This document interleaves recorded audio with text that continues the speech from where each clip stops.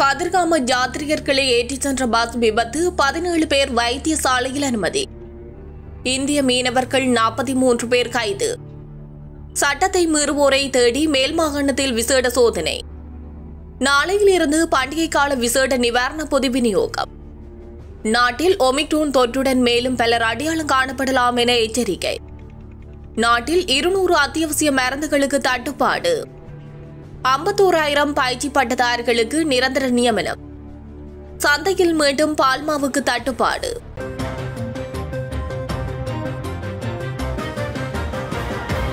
அம்பாறை பதியத்தலாவை பிரதேசத்தில் இன்று அதிகாலை பஸ் ஒன்று வீதியை விட்டு விலகி விபத்துக்குள்ளாகியுள்ளது விபத்துக்குள்ளான பஸ்ஸில் பயணித்த பதினேழு பேர் மகா ஓயா வைத்தியசாலையில் அனுமதிக்கப்பட்டுள்ளதாக போலீஸ் ஊடக பிரிவு தெரிவித்துள்ளது. கிளிநொச்சியிலிருந்து கதிர்காமன் நோக்கி யாத்ரிகர்களை ஏற்றிச் சென்ற பஸ்ஸை இவ்வாறு விபத்துக்குள்ளாக்கியுள்ளதாக போலீசார் தெரிவித்துள்ளனர். சாரதிக்கு நித்திரை ஏற்பட்டதால் இந்த விபத்து ஏற்பட்டிருக்கலாம் என போலீசார் சந்தேகம் வெளியிட்டுள்ளனர். சம்பவம் தொடர்பில் பேருந்து சாரதியை கைது செய்துள்ள போலீசார் மேலதிக விசாரணைகளை முன்னெடுத்து வருகின்றனர்.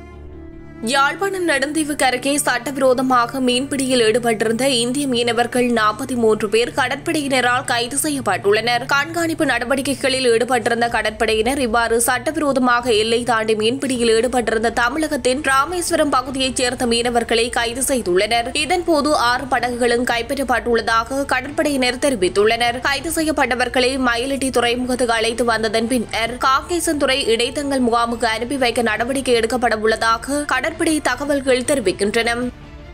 பொதுமக்கள் சரியான சுகாதார அறிவுறுத்தல்களை பின்பற்றுகின்றார்களா என்பதை கண்டறியும் வகையில் நாட்டின் பல்வேறு பகுதிகளிலும் போலீசார் தினந்தோறும் விசேட தேடுதல் நடவடிக்கைகளை மேற்கொண்டு வருகின்றனர். இதன்படி மேல் மாகாணத்தில் நேற்று முதல் கொரோனா தடுப்பு விதிகளை மீறுபவர்களை கண்டுபிடிக்கும் விசேட நடவடிக்கைகள் ஆரம்பிக்கப்பட்டுள்ளதாக போலீஸ் ஊடக பிரிவு தெரிவித்துள்ளது. இந்த சோதனைகளின் போது முறையான முகக்கவசம் அணியாத நபர்களுக்கு எதிராக சட்டத்தை அமல்படுத்த போலீசார் நடவடிக்கை எடுத்துள்ளனர். நேற்று இரண்டாயிரத்தி எண்ணூற்றி எண்பத்தொரு மோட்டார் சைக்கிள்கள் மற்றும் இரண்டாயிரத்தி அறுநூற்றி ஐம்பத்தெட்டு முச்சக்கர வண்டிகளை தேடும் பணியில் எழுநூற்றி இருபத்தி ஏழு போலீஸ் உத்தியோகத்தர்கள் ஈடுபட்டதாக போலீசார் தெரிவித்தனர். மொத்தமாக எண்ணாயிரத்தி தொன்னூற்றி ஒன்பது பேர் பரிசோதிக்கப்பட்டதாகவும் அவர்களில் ஆயிரத்தி தொள்ளாயிரத்தி முப்பத்தி ஆறு பேர் எச்சரிக்கப்பட்டு திருப்பி அனுப்பப்பட்டதாகவும் போலீசார் தெரிவித்துள்ளனர். எதிர்வரும் பண்டிகை காலத்துக்காக சதோசா நிறுவனத்தினூடாக பொதுமக்களுக்கு வழங்கப்படவுள்ள விசேட நிவாரண பொதி அறிமுகப்படுத்தப்பட்டுள்ளது. வர்த்தக அமைச்சர் பந்துல குணவர்த்தன தலைமையில் நேற்று இந்த நிவாரண பொதி தொடர்பான தகவல்கள் வெளியிடப்பட்டுள்ளன. இந்த பொருட்கள் ஒரு நிறுவனத்தில் இரண்டாயிரத்தி எழுநூற்றி ஐம்பத்தி ஒரு ரூபாவாகவும் இன்றும் ஒரு நிறுவனத்தில் இரண்டாயிரத்தி நானூற்றி எண்பத்தொரு ரூபாவாகவும் விற்பனை செய்யப்படுகின்றன. ஆனால் சதோசா ஊடாக ஆயிரத்தி தொள்ளாயிரத்தி தொன்னூற்றி எட்டு ரூபாவுக்கு விற்பனை செய்கின்றோம். இந்த பொருட்களை வீட்டுக்கு கொண்டு வந்து கொடுக்கவும் நடவடிக்கை எடுத்துள்ளோம் அவ்வாறு வீடுகளுக்கு பொருட்களை விநியோகிக்கும் போது சதோசாவில் பொருட்கள் இல்லை என்ற குற்றச்சாட்டு முன்வைக்கப்பட மாட்டாது என்றும் அவர் குறிப்பிட்டுள்ளார். நிவாரண பையை பெற்றுக்கொள்ள ஆயிரத்தி தொள்ளாயிரத்தி தொன்னூற்றி எட்டு என்ற எண்ணுக்கு அழைக்க முடியும். நாளை முதல் விநியோக நடவடிக்கைகளை ஆரம்பிப்பதற்கான ஏற்பாடுகளை சதோசா நிறுவனம் முன்னெடுத்துள்ளது. பூஜ்ஜியம் ஒன்று ஒன்று ஐந்து இரண்டு பூஜ்ஜியம் ஒன்று ஒன்பது ஒன்பது எட்டு என்ற எண்ணுக்கு வாட்ஸ்அப் செய்தியை அனுப்புவதன் மூலமும் உரிய நிவாரண பொதியை பெற்றுக் கொள்ளலாம் சிறப்பு நிவாரண பையில் பத்து கிலோ சம்பா அரிசி இரண்டு கிலோ பழுப்பு சர்க்கரை ஒரு பேக்கெட் நூடுல்ஸ் நூறு கிராம் தேயிலை இலைகள் இருநூற்றி ஐம்பது கிராம் வெண்டைக்காய் இரண்டு சவட்காரம் மற்றும் ஒரு பப்பட பாக்கெட் ஆகியவை அடங்கும்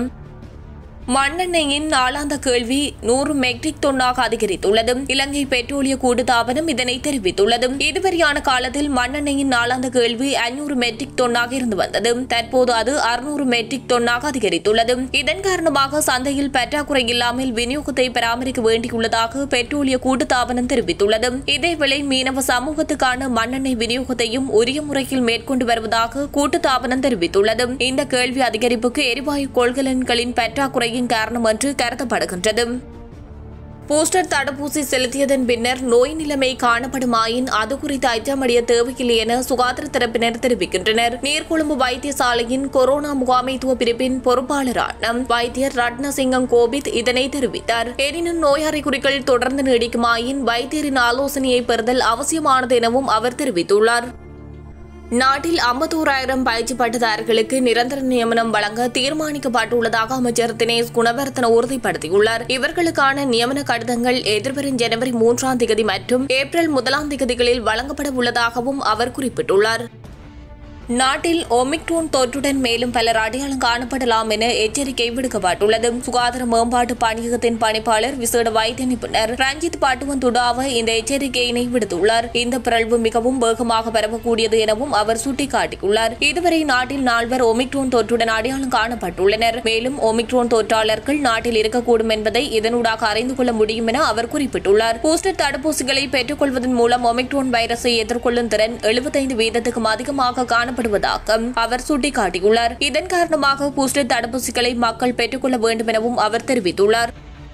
நாடு முழுவதும் மருந்தகங்களில் தற்போது அத்தியாவசிய மருந்துகளுக்கு தட்டுப்பாடு நிலவுவதாக தெரிய வருகின்றது. இருதய நோய் உயர் இரத்த அழுத்தம் புற்றுநோய் நீரிழிவு நோய் எதிர்ப்பு சக்தி மருந்து உட்பட அத்தியாவசியமான சுமார் இருநூறு மருந்துகளுக்கு தட்டுப்பாடு ஏற்பட்டுள்ளதாக கூறப்படுகின்றது. நாட்டுக்குள் காணப்படும் டொலர் நெருக்கடி மாத்திரமல்லாது அரசு மருந்து கூட்டு தாபனத்துக்குள் காணப்படும் மோசமான நிலைமைகள் இதற்கு காரணமாக அமைந்துள்ளதாகவும் தெரிவிக்கப்பட்டுள்ளது.